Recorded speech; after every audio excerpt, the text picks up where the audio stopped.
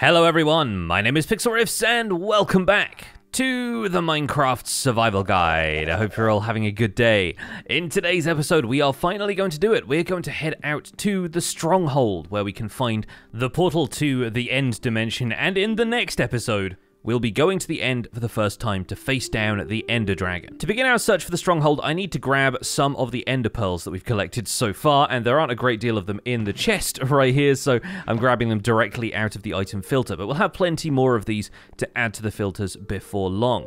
I also have a bunch in the house over here. They should still be in my storage system since I've Gathered a few ender pearls over the course of the series so far. Right here we got 12 of them. Okay, that leaves us with 22. Not too bad. And up here, we should still have some blaze rods. If I break those down into blaze powder, we get two per rod, so we should have plenty to craft some eyes of ender. While we're familiar with these already as the crafting ingredient for an ender chest, they also have a separate functionality and one which would arguably be more important. If we step outside and throw one of these Eyes of Ender into the air, it will point the direction of the stronghold. And looks like that one right there is going to be pointing us in this direction. That is southwest. So I'm going to take a note of that and make a couple of other preparations. First of all, I need a decent source of food, and for that I'm going to buy some golden carrots from the farmer that I've been trading with after we got hold of the hero of the village effect. Regis is going to sell me some golden carrots, and golden carrots are one of the best foods in the game when it comes to saturation, the behind-the-scenes value that prevents you from getting hungry for longer. So we're going to be eating golden carrots as our primary food for a little while while now, especially since we have a decent amount of emeralds. I'm going to craft these last two ender pearls into Eyes of Ender anyway. I figured I would do that just in case we need them, since it is possible for an ender pearl when thrown into the air to break and to not be able to retrieve it. And ideally, in our search for the stronghold, we want to end up with 12 Eyes of Ender left once we reach the stronghold itself. In theory, we should not need that many, but that's the worst case scenario, so it's always a good idea to plan ahead. And now that daytime has arrived, we're going to set off in search of the stronghold. We're going to head off southwest. I'm going to bring a boat and a bed with me because this is potentially going to be a longer trip. And every so often, we're going to tune in to our coordinates and pay attention to how those numbers are behaving. Because there are multiple strongholds out in the world, there are actually multiple ways of accessing the end portal and getting to the end dimension. And on Minecraft Java Edition,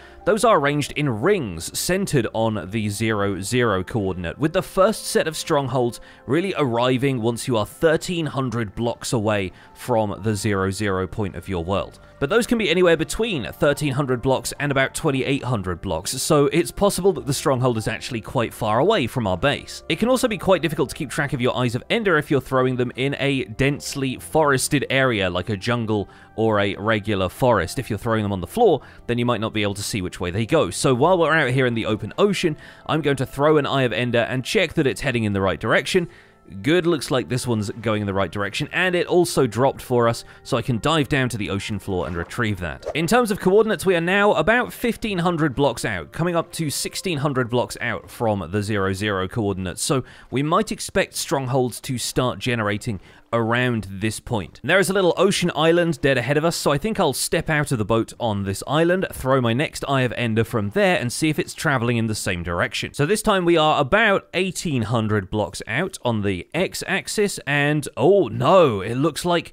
the Eye of Ender is now traveling back, and there you go. That's an example of what happens when one of them breaks. Still, we have 21 left. We only need to keep 12, and it seems like we have already gone over the direction of the stronghold. In fact, the stronghold seems to be probably somewhere in this ocean biome, somewhere below the surface. So now it becomes our job to sort of zero in on the location of the stronghold, and to do that, we can go to an adjacent piece of terrain. We're kind of traveling laterally here. We'll throw the Eye of Ender from here, and we'll see which direction it travels. It's actually traveling back that way, so it seems like the stronghold might actually be closer to that island, perhaps even somewhere near the shipwreck. Now here's the tricky part. There is no surface structure that marks the entrance to the stronghold. The strongholds are going to be completely underground, and in some cases, they can be really far down in the world. If you want to be more precise about things, you can actually locate the staircase that begins the stronghold structure in the same way that you can buried treasure. If you look for the chunk in which the ender pearl descends into the ground instead of floating up and pointing in a direction from the sky. You can enable chunk borders using that F3 and G shortcut, and you look for the 4 4 relative coordinate in the same way that you look for the 9 9 coordinate. In this case, it looks like that is this chunk here, and if we throw the Eye of Ender here, it's going to go straight downwards. But I think in this case, we're going to use the shipwreck as kind of a staging area to dig a tunnel down to the stronghold. First of all, I'm going to dive in here and see what this treasure is. We've got a couple of extra armor trims from that, of course, that's very nice. Then I'm going to grab a bunch of dirt from this nearby island, and we're going to use that to fill in all the water in the cabin so we don't drown while we're in there. Obviously, if I'd known about this, I might have brought some sponges with me, and the process of doing this would be a lot faster. And there are so many waterlogged blocks down here, waterlogged stairs and fences and that kind of thing, but it seems like we've eliminated most of those now. And from here, we can start a staircase down into the neighboring chunk, where we should hopefully find the structure of the stronghold. Once our staircase reaches a certain length, I might actually turn right and start digging down in a kind of spiral staircase formation. And there we are, we found it. Incredible. Okay, these are the blocks of the stronghold, and you can tell because there are mossy stone bricks here, along with some stone brick and cracked stone brick in certain situations. Looks like we're also digging down into a lush cave since there is clay down here, but this is really where we want to be. So if I open this up a little bit, we're going to silk touch some of these blocks. There we go. We have found the entrance to the stronghold. This initial staircase begins the structure, and we get the Eye Spy advancement for taking our first steps into the stronghold. At this point, my first instinct is to make sure that we have a safe way back up, since we might need to return from this structure but then after that, we can make our way down the spiral staircase. And honestly, I might put some of these blocks and stuff in a chest up here, since we shouldn't be needing any of the blocks of the shipwreck from upstairs. And maybe I'll stash the treasure and whatnot in here as well, so we have a slightly clearer inventory. Now, stepping down here, we'll encounter an iron door, which we can open up with the buttons on the side here, or you can simply just break it. And I honestly recommend breaking those doors just so that they can effectively act as markers for where you have already been.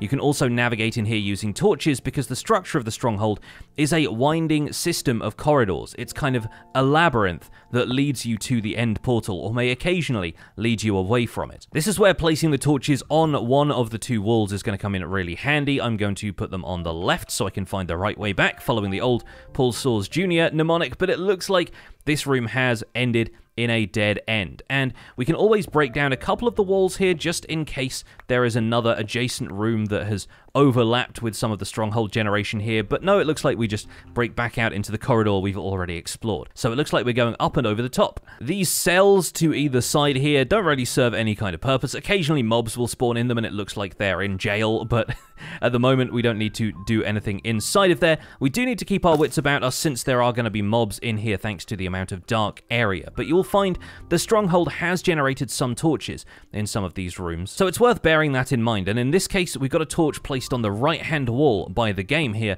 we're going to switch that to the left-hand wall so it doesn't disorient us whilst we're exploring. And it looks like we might have come around to an area that comes straight through from this intersection. So I'm going to be breaking down the doors and making sure I know which directions I've traveled. These rooms often interconnect to a series of different tunnels, but it looks like in this case we don't have anything to either side. It's simply generated into the terrain around the outside, so I don't need to worry too much about what's going on in here. I can also hear some lava noises if I stand in this corner, so behind the wall or possibly underneath the floor is potentially the location of the Stronghold portal room. It could be a lava lake that generated naturally as part of the terrain here, but the portal room also contains a little bit of lava, so it might be worth exploring in this direction from this doorway here, and it looks like a spiral staircase leads down into more of the stronghold structure. Keeping our torches on the left here, it looks like we just have a couple of those jail cells, so we're going to double back around,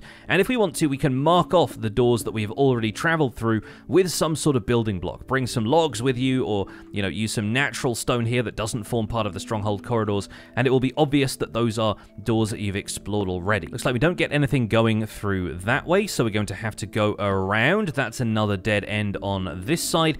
Looks like the stronghold does break out into cave systems here and there, but this one is also a dead end, huh? Interesting. At that point, we have explored basically every direction we can do, given the natural winding paths of the stronghold structure. So it seems like this stronghold may actually have wrapped back around on itself and overlapped putting a wall up in an area where there's not supposed to be one. So I'm going to return to the corner of this room where I heard the lava noises, and we're going to be digging out the walls of this to see if we can get a little closer to where I'm hearing those lava sounds, because it may be that we dig into a different part of the stronghold. Oh, yeah, okay, I've dug up directly underneath the lava. Now, the question is, is this entire floor area here going to drip with lava? Because if it is, yeah, it looks like we're not digging up under the stronghold portal room after all. I think the uh, ceiling above us would be made out of stone bricks if that was the case. So unfortunately, it looks like the game is leaving us to do a little bit of guesswork here. Which direction is the stronghold going to extend? Or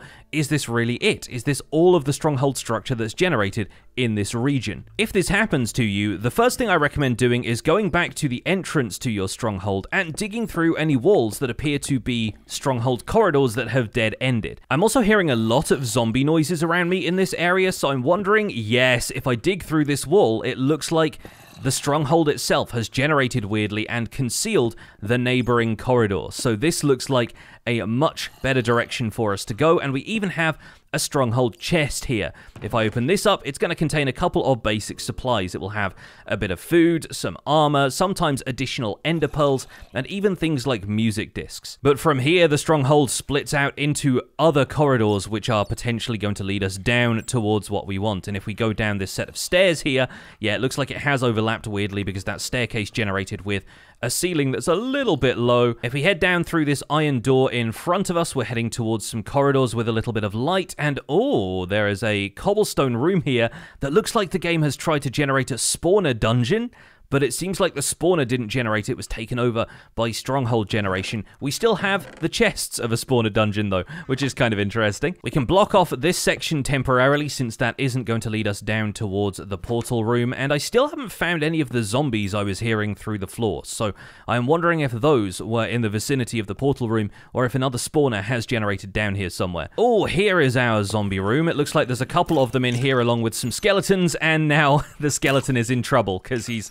shot at a couple of the zombies trying to hit me. Looks like that leads to a dead end as well. And one thing I should note whilst we're down here exploring is be a little careful if you're breaking the walls with a standard pick that doesn't have silk touch, because every so often, one of these stone bricks, cracked stone bricks, or even mossy stone bricks can be a silverfish egg. We might have encountered silverfish earlier in the series, especially if you've been doing any mining in mountain biomes. And obviously on Java Edition, if we look at blocks using the F3 screen, you'll be able to see whether the block you are targeting is a regular stone brick, or in this case, infested stone bricks. I'm going to break that with a pickaxe to show you what happens, because instead of the block dropping, you will get this puff of smoke there, and occasionally a silverfish will pop out and start to attack you.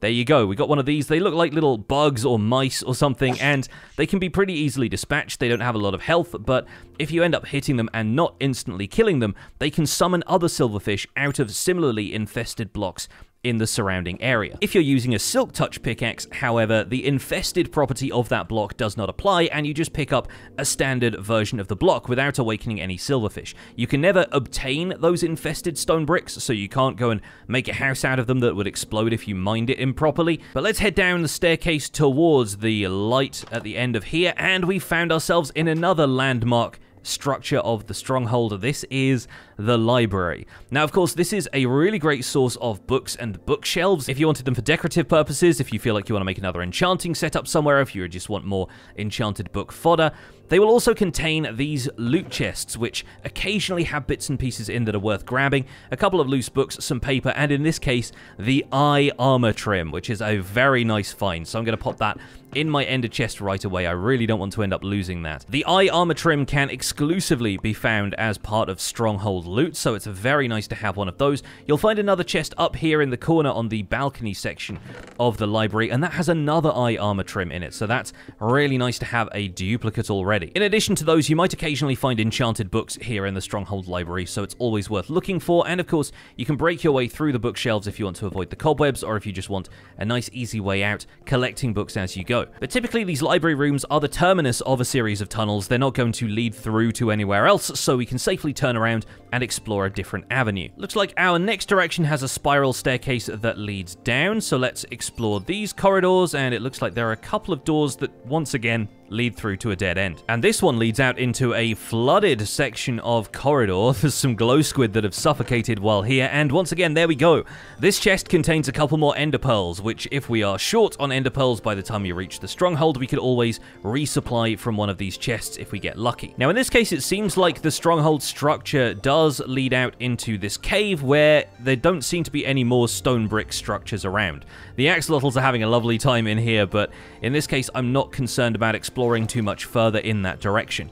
You may occasionally, however, find that your stronghold has been bisected by a ravine or by cave generation, and in those cases, it's usually a good idea to explore the area just in case one of the rooms has ended up getting fragmented, and that leads further down towards the portal room. Another spiral staircase that leads us even further down, but that also seems to lead to a dead end. Once again, I heard a couple of zombie noises, so it may be that the world has overlapped the stronghold in a couple of weird ways, but we still do have a couple of directions here that we might be able to travel. And once again, this room here, which handily generated with a button in this block so I knew which way to go, that's leading through to the next area. We have a fountain room right here. That's usually a good sign. The fountain rooms seem to occur very close to this room. This is the end portal, and you'll notice there is a silverfish spawner up here on the staircase near the portal frame. Here, is the main thing we came here for. And it's important not to rush over here because, as you can see, we end up with a bunch of lava underneath this ring of blocks. Now, this ring of blocks is the end portal, and this is why we have brought so many Eyes of Ender with us. You'll notice that one of the portal frame blocks is already occupied by an Eye of Ender, while there are 11 that are currently vacant. And there is a small chance of more of these being filled up already, up to the point where you can stumble into a stronghold even though this is very unlikely, and find all 12 portal frames already filled in with Eyes of Ender. In this case though, we can simply right-click on these portal frames with an Eye of Ender to place the eyes in there, and eventually once all 12 are filled up, it will activate the portal. We're only going to place 11 of those, or well, 10 of those, with one already in there. Oh, and there we go. I've ended up dealing non-lethal damage to a silverfish, and already the blocks of the room are rebelling. Well, there we go. We took out a couple of them, and this is the reason that a lot of people will break the silverfish spawner once they first arrive in the dungeon, because silverfish don't drop anything useful aside from experience, and it's kind of unnecessary creating a farm for these. It's not really going to work out very well for you. Not to mention that they can break out some of the blocks around this little pool of lava here, and the lava will leak into the surrounding room. We're actually going to pour water over the top of that lava to convert it into obsidian, and naturally I'll need to light up the area a little better after removing that major light source. But breaking out these blocks of obsidian, we're going to use these to create a nether portal relatively close to this portal frame because the end portal is one we will need to return to very often. And unlike nether portals, they only occur at fixed points throughout the world, and they cannot be moved. You cannot obtain these blocks and move your end portal somewhere else. If I try and mine these, nothing happens. It's kind of like mining bedrock. Likewise, they can't be pushed by pistons or obtained using any other survival means, so this is the place we will have to return to if we want to travel to the end dimension in future. We got 9 obsidian from that. I'm going to pour a little bit of water over the sides here, so we end up with a bit more obsidian for our nether portal. And then I'm going to back away because I really don't feel like dealing with these silverfish any more than I have to. There is still a bit of unexplored stronghold out here as well, but I think I'm going to put my nether portal in the center of this room, probably facing towards that entrance. That way I know when I come through this portal, I'm going to end up facing the stronghold. With 12 obsidian, we'll make a 3x3 portal like this, and I should have a flint and steel here in my ender chest. Perfect. And now, of course, I can head on through to the nether to create a portal on the opposite side, or I can take these coordinates and use them to create a matched portal somewhere in the nether that I have more control over. Just out of curiosity, I think I will step through to the nether just to get my bearings. I don't think this should match to any of the portals I have already created. Nope, it looks like we are relatively low down, although that's quite close to a tunnel I've already made, judging by what I can see above me. Yeah, this must be the walkway that leads me out towards that desert portal. So that's actually really convenient, because all I need to do is relocate this portal vertically, and I should be able to step off that walkway towards the desert biome directly into the stronghold. We're going to do that right now. We're going to take down the obsidian of this portal and use it to relocate the portal adjacent to that walkway. And I guess the portal was about here? Yeah, that's where the magma blocks are, but wow, that was tremendous tremendously convenient. Certainly saves me a little bit of hassle for when I create my nether hub later. So there we go. We should be able to light this portal up, and fingers crossed, we return to that portal in the stronghold. Nailed it. Excellent. Very, very good. So now we should be able to have a two-way connection to the stronghold anytime we want to. And I think I'll put some of the mossy stone bricks that I've been gathering from the stronghold up around here so it's obvious which portal this is. And then probably fill in the back behind the portal as well, because otherwise I could be stepping off into a lava lake.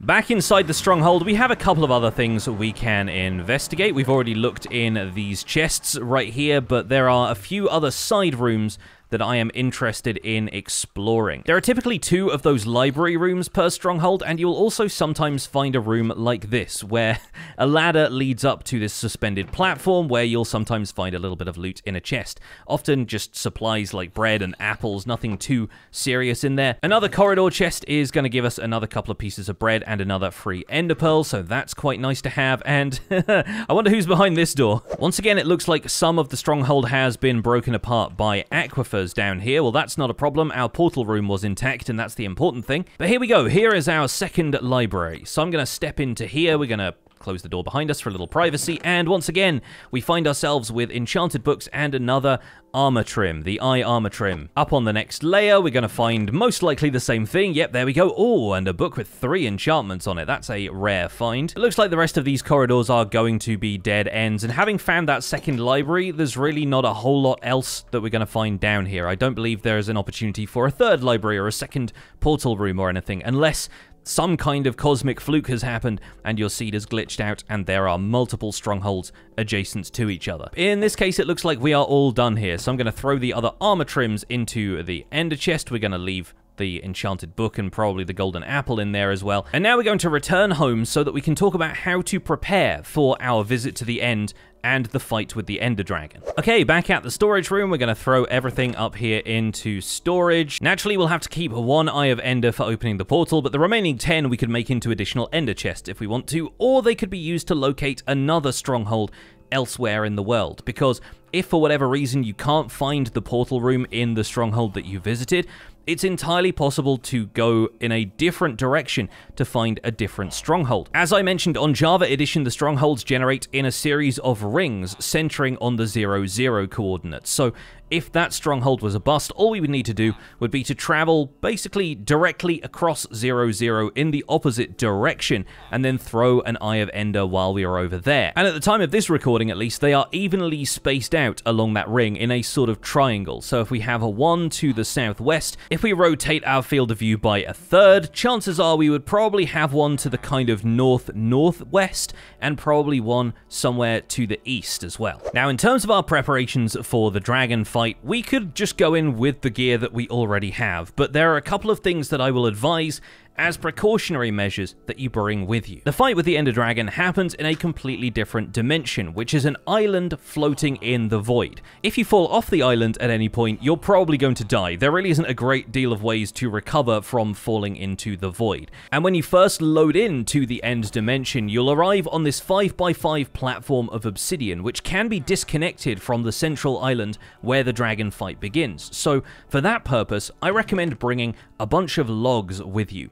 The main reason I recommend logs over any other kind of material is that they can be broken down into planks, which means you're effectively carrying four times the amount of material that is stored in a single stack of space. Not only that, but the planks can be further broken down into slabs, which doubles the amount of material you have there for bridging over to the main island. Also, later in our exploration of the end dimension, we're going to be doing a lot of bridging between floating islands like this, since the whole dimension is made up of these different islands suspended in the void. So it's going to be vital to have an adequate supply of bridging material that we can use to bridge out to other islands. Once we've reached the central island where the dragon fight takes place, a decent ranged weapon and a decent melee weapon are going to be vital. I recommend that you bring a bow with infinity so you are unlikely to run out of arrows, but if you prefer to put mending on your bow, then make sure you've brought at least a stack of arrows, if not more. I'd say a stack if you're confident with your aim, and slightly more if you are underconfident. You can always bring a couple of stacks of arrows in your ender chest if you want to, but I recommend having a decent supply of projectiles because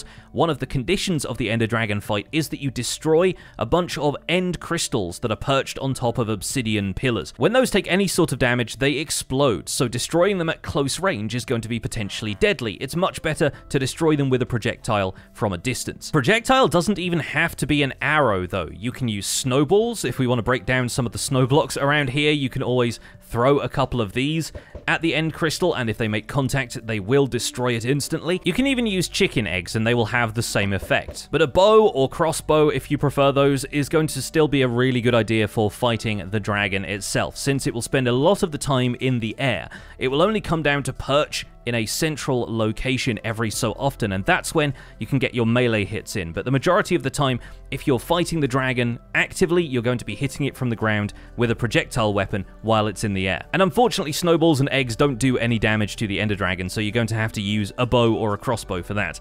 I also don't recommend using a trident, since throwing one of those and missing can result in the trident flying into the void. And at some point, I think they planned on making the loyalty enchantment return a trident from the void, but I don't know for certain if that's been implemented yet, so you do risk losing a pretty valuable weapon if you go down that route. Now, much like in the Nether, beds explode when placed and right-clicked in the end dimension, and so you might have seen some Minecraft speedrunners attempting to kill the dragon using the explosions from a bed when the dragon comes down to perch on the central portal.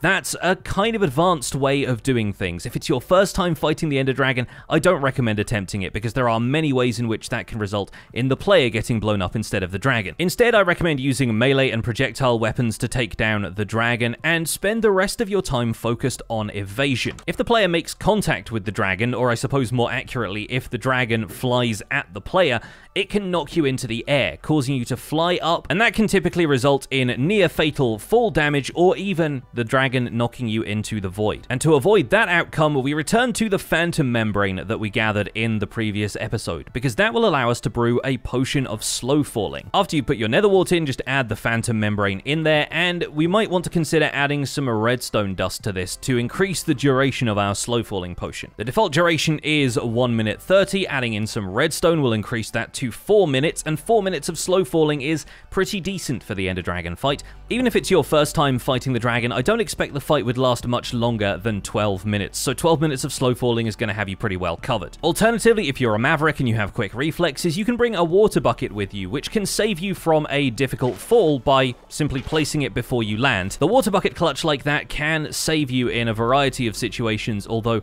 it takes a little bit of practice, don't expect to execute it first time. But a water bucket will also be incredibly useful because the rest of the island is populated by Endermen, and the Ender Dragon is going to be flying around in the sky while the Endermen are walking around on the ground. And naturally, if you look at any Enderman, you're going to end up having to fight them, which can get a little bit disorienting and also kind of dangerous. For that, I also recommend considering carving a pumpkin and wearing it on your head instead of a helmet. Naturally, this is going to reduce any protection that you're getting from the armor and the armor enchantments, but wearing a pumpkin on your head, while it also decreases your vision like this, prevents any Enderman you look at from getting angry at you. They simply won't recognize a player with a pumpkin on their head looking at them as any kind of hostile force, so you won't end up getting attacked by Enderman if you're wearing a pumpkin in the end. Unfortunately, the reduced visibility does make it a little bit difficult to fight the dragon. You can press F1 to remove the HUD, although unfortunately that removes all of the other HUD elements like seeing what you've got in your hands at the time. Personally, I'm not going with the carved pumpkin approach simply because I want you folks to be able to enjoy the video, and also I've gotten pretty good at not looking directly at the Enderman. But once again, the bucket of water is going to save you from Enderman if they end up targeting you, because if you simply place the bucket of water and stand in the center of it, Endermen do not like making contact with water, and the water will spread out